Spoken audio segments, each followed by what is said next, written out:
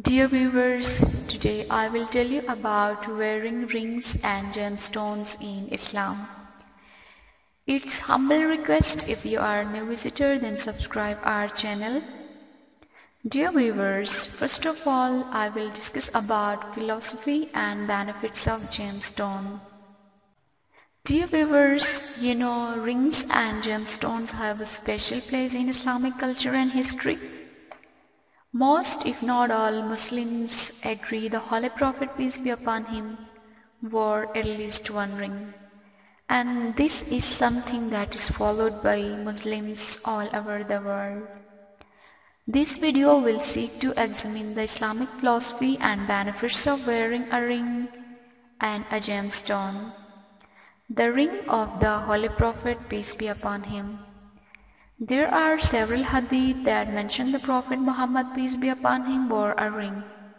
It is said that he acquired a ring of silver with Muhammad Rasulullah on it, saying, I have acquired a ring of silver and engraved on it, Muhammad Rasulullah, and no one should have an engraving like this.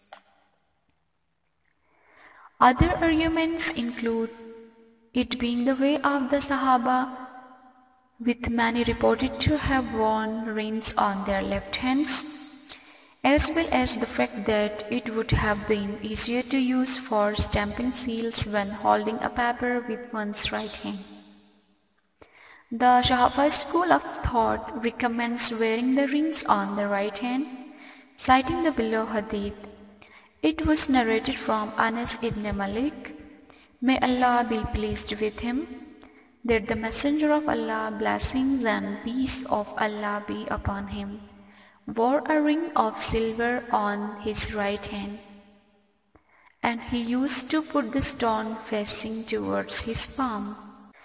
Besides other similar narrations, the argument of the school is also that the Prophet Muhammad, peace be upon him, would always start with the right in daily task of adornments, such as putting on shoe and combing hair. Some also point out that there are also hadith that prominent Sahaba wore rings on their right hands, perhaps suggesting that wearing a ring on either hand is recommended. Hadith suggests that the Holy Prophet wore the ring on his index finger.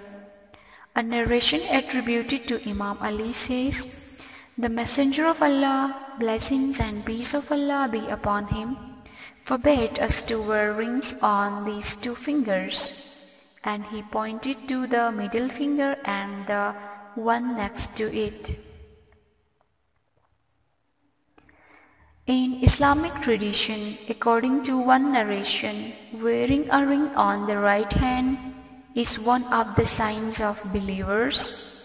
Imam Jafar Sadiq says that a ring should be worn at the end of the finger where it joins the palm. In another hadith, the Holy Prophet asked Imam Ali to wear a ring on his right hand so that he may be counted among the Muqarrabin those near to God. Subscribe GB Trade Key and hit bell icon.